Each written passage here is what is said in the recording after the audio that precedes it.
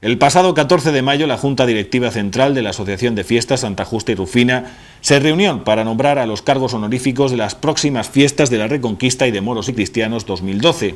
Como glosador se eligió a Juan Agrela, como presentador de la revista oficial de fiestas a nuestro compañero de Radio Orihuela, Alfonso Herrero López, como pregonero a José Antonio Fernández Pertegal, de Caballeros de Tabnir, como alcaide del castillo a Atanasio Die y como socio de honor a la empresa oriolana Eden del Mar.